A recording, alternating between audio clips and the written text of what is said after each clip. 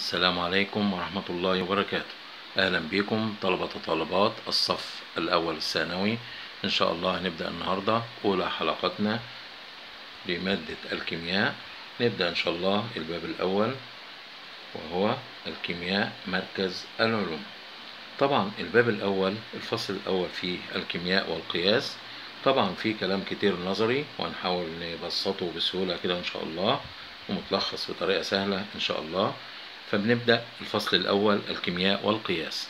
القياس اللي حضر معايا الحلقة بتاعة القياس في الفيزياء شبيه به في التعريف ولكن في استخدامات هنا في الكيمياء مختلفة. طبعا علم الكيمياء ما المقصود بعلم الكيمياء؟ علم يختص بدراسة المادة وتركيبها وخواصها والتغيرات التي تحدث لها. مش كده وبس. وتفاعل المواد مع بعضها. تاني مختص بدراسة المادة. بنشوف تركيب المادة إيه؟ تتكون من عدة جزيئات. الجزيئات تتكون من عدة ذرات. إذا الذرة هي الوحدة البنائية لتركيب المادة. تركيبها الخواص بتاع المادة والتغيرات التي تحدث لها. وتفاعل المواد مع بعضها. هو ده علم الكيمياء. الكيمياء وعلوم الحياة. هل الكيمياء مهمة في حياتنا؟ طبعا. الكيمياء داخلة في كل حاجة. يعني موجودة حتى في الأساس العلمي للكائنات الحية. الأساس الكيميائي في خلايا الكائنات الحية أول حصة في البيولوجي أو الأحياء في أولى ثانوي إذا الكيمياء مشتركة مشتركة في اشتراك بينها وبين الحياة كلها. كل مواد الحياة مشترك فيها علم الكيمياء. فبيقول لي علاقة الكيمياء بالبيولوجي هو بيعرفني الأول البيولوجي هو إيه؟ طبعا الأحياء. علم يختص بدراسة الكائنات الإيه؟ الحية. ولذلك اسم هذا العلم البيولوجي.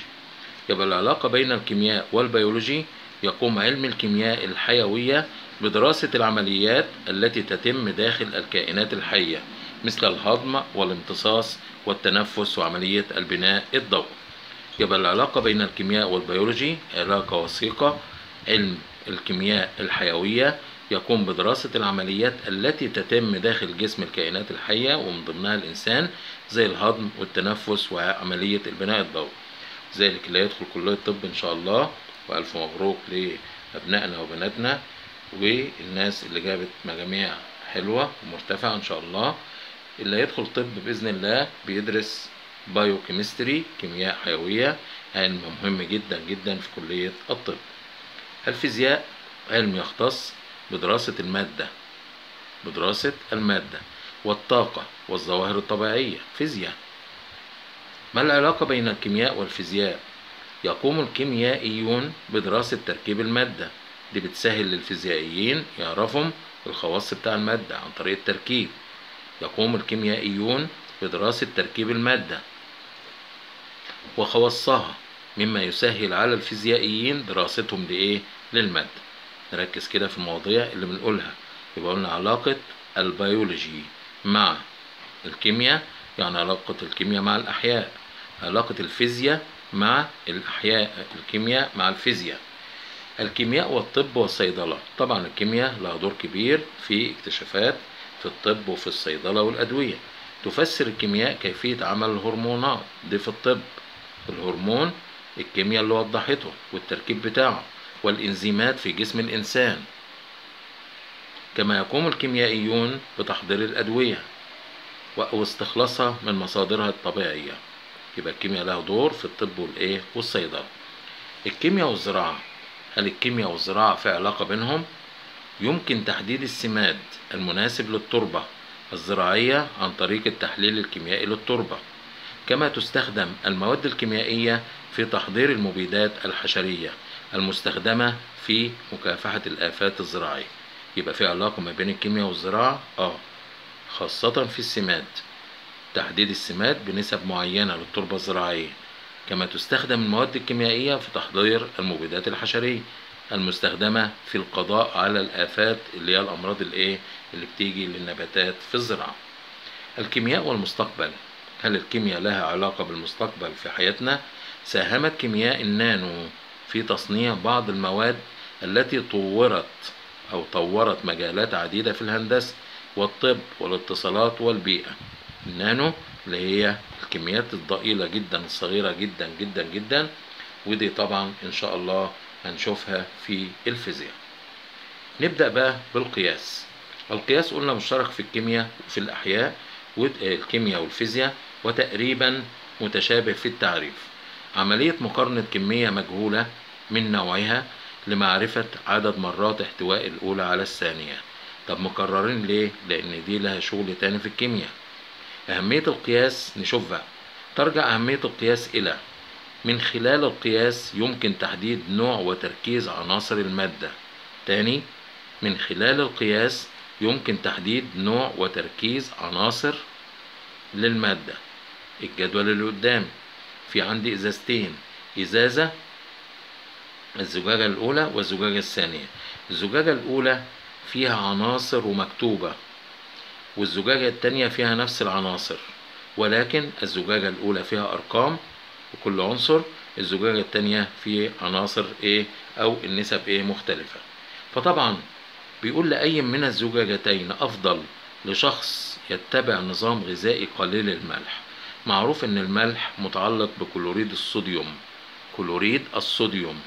نبص الكلوريد الصوديوم كده في الزجاجة الأولى كميته قد إيه؟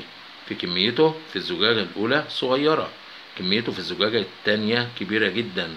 إذا اللي بيتبع نظام غذائي قليل الملح بنستخدم الزجاجة الأولى يبقى دي أهمية القياس. طيب إذا كان الاستهلاك اليومي لشخص واحد ونص لتر ماء من الزجاجة التانية. يعني بستخدم لتر ونص الزجاجة لتر. فأنا بستخدم إزازة ونص. فما كتلة الكالسيوم التي يحصل عليها يوميا؟ الكالسيوم عندي سبعين. يبقى لتر ونص نص السبعين كام؟ خمسة وتلاتين. يبقى كمية الكالسيوم اللي أنا باخدها في اليوم مية وخمسة. تلاتين زائد خمسة وتلاتين مية وخمسة. من خلال التحاليل الطبية يمكننا تحديد المرض ومعرفة العلاج المناسب له. طبعا بنعمل تحليل دم فيه نسب وبنعمل range بين قوسين كده لل normal كذا. اذا الرقم اللي طالع لي يا ترى طبيعي ولا لا؟ يعني normal السكر مثلا من 70 ل 110 أو 120 طبعا عملت تحليل لشخص أو لذكر أو أنثى ولقيت تحليل السكر 250 اذا مرتفع. لقيت السكر 60 اذا مستوى منخفض جدا لأن في range عاملينه ال normal بين قوسين. يبقى دي أهمية القياس في حياتنا بصفة عامة. يبقى أهمية القياس ثلاث حاجات. رقم واحد. رقم واحد. معرفة معرفة الاستهلاك أو اتباع نظام غذائي معين.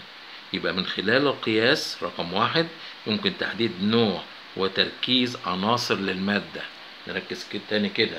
يبقى أهمية القياس في الكيمياء نفكر فيها كده كويس والجدول ده بيوضح لنا هذا الموضوع. يبقى رقم واحد في أهمية القياس.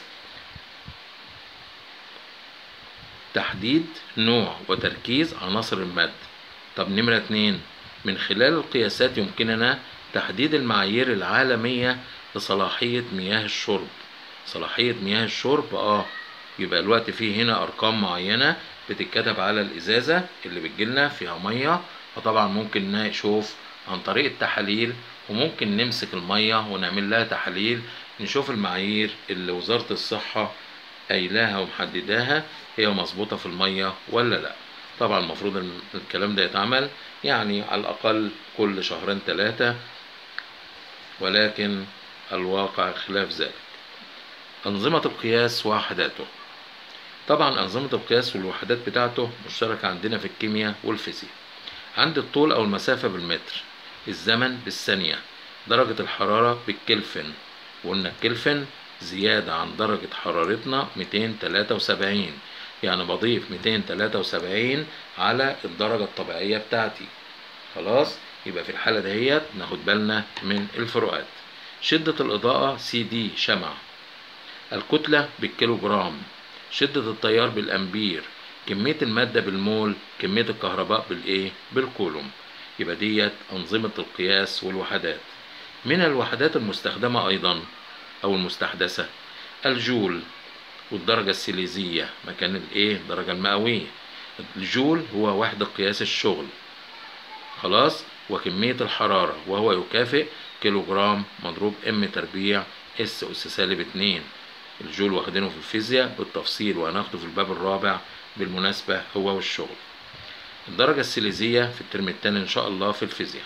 الدرجة السيليزية وحدة قياس درجة الحرارة. خلاص؟ وهو يكافئ و آه، درجة الكلفن بتكافئ 273 زائد درجة الحرارة اللي إحنا بنضيفها على الدرجة السيليزية. لذلك شوف مكتوب 273 زائد زيرو سيليزية. يبقى ده الكلفن. طب لو ضفت هنا مثلا درجة الحرارة الطبيعية بتاع الإنسان مثلا 37 37 يبقى الدرجة بالكلفن كام؟ 310 يبقى 37 درجة مئوية بالمصري سيليزية بتكافئ بره 310 إيه؟ درجة كلفنية بنضيف عليها 273 يبقى كده ماشيين في الوحدات المستحدثة أو اللي موجودة حاليا. طيب أدوات القياس عندي في معامل الكيمياء. عندي الميزان الحساس وبنشوفه. تختلف الموازين عن بعضها في الشكل والتصميم ومن أشهرها الميزان ذو الكفة الفوقية. وده معظم الناس بتبيع عليه الفراخ بتبيع عليه الخضروات. في عندي ميزان حساس موجود في طابلو كده وفي آه، آه، إزاز قدامه كده. المهم في أشكال مختلفة في المعامل عندنا في السنة. يستخدم الميزان الحساس لقياس كتل المواد. دي سهلة واخدينها من سنة ستة ومن رابعة ابتدائي. نمرة اتنين السحاحة. السحاحة شكلها لازم نكون عارفينه. السحاحة ده المنظر اللي قدامنا. الحامل اللي شايلها ده عشان لها فتحتين. الفتحة اللي ناحية الصمام. الصمام ده زي المحبس زي الحنفية بنقفله وبنفتحه. السحاحة أنبوبة زجاجية مفتوحة الطرفين ولها صمام صمام زي المحبس أو الإيه؟ الحنفية. وصفر التدريج من أعلى الصفر بادئ من أعلى. اللي بننزله بقى بنبدأ نحسب بقى بنظبط عند الصفر وبنبدأ نعد. يبقى نزلنا هنا واحد سنتي هنلاقي إيه؟ بداية واحد سنتي إيه؟ من فوق.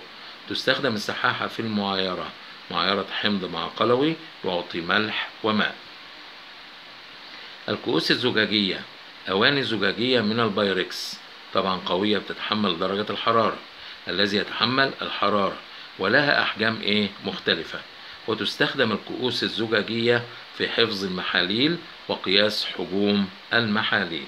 يبقى هنكتفي النهاردة إن شاء الله بهذا الجزء على أساس نذاكر الجزء اللي بناخده لأن الجزء الفوقاني عاوز تركيز شوية كده وورقة وقلم. هو سهل جدا علاقات ما بين الكيمياء وما بين البيولوجي علاقة الكيمياء والفيزياء علاقة الكيمياء والطب والصيدلة علاقة الكيمياء بالزراعة وعلاقة الكيمياء بالمستقبل. نفهم وإحنا بنذاكر هتلاقي الأمور إيه؟ سهلة. بعد كده اتكلمنا عن القياس والقياس اتكلمنا عنه كتعريف وأهميته استخدمناه لثلاث استخدامات. مع الأمثلة بتاعته. أنظمة القياس النهاردة وحداته في الكيمياء غير الفيزياء الت- الترتيب يعني اللي إحنا واخدينه هناك ولكن هو نفس المحتوى. الوحدات أو أدوات القياس في معمل الكيمياء خدنا النهاردة ثلاث حاجات الميزان الحساس السحاحة وقلنا شكل السحاحة مهم لها فتحتين خلاص مفتوحة الطرفين ولها صمام صمام والتدريج بادئ من أعلى نركز. أنا بكتفي النهاردة بكده ليه؟ لأن فيه الماصة وفي حاجات تانية الكواشف. طبعا دي برضه مش عاوز أكتر عليكم في الحلقة الأولانية. ما تنسوش الاشتراك معانا في قناتنا مصطفى رجب خبير العلوم ونوصل المعلومات والفيديوهات لزمايلنا. وما تنسوش الحصص التأسيسية اللي معمولة إن شاء الله على أساس في الكيمياء والفيزياء والأحياء عشان كلنا نستفيد. وإلى اللقاء في الحلقة القادمة. والسلام عليكم ورحمة الله وبركاته.